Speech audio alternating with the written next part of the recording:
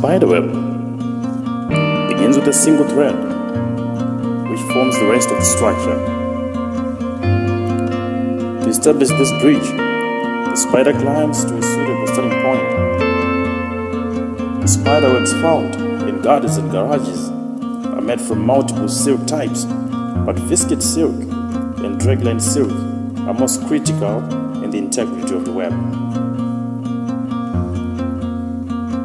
The secret to how spiders' silk can be strong and so elastic at the same time has to do with its chemical makeup.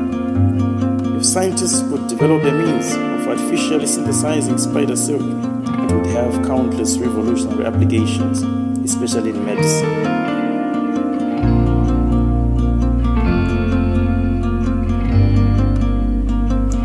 A mimetic art has however been developed in the ICT industry.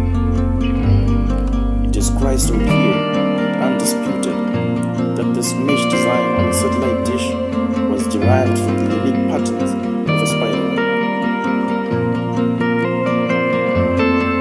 The mesh design on a satellite dish is not only beautiful appearance, but it uses much less amount of steel to construct.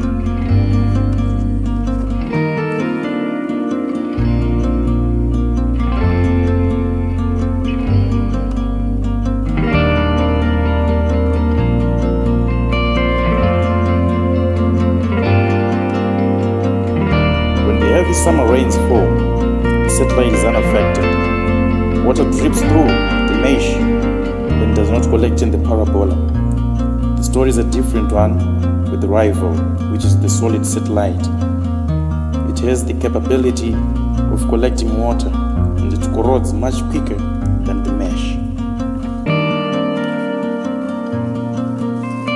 Even when the strongest winds come, the spiderweb, like the spiderweb, the mesh is unaffected. It does not lose its signal. It cannot be shaken.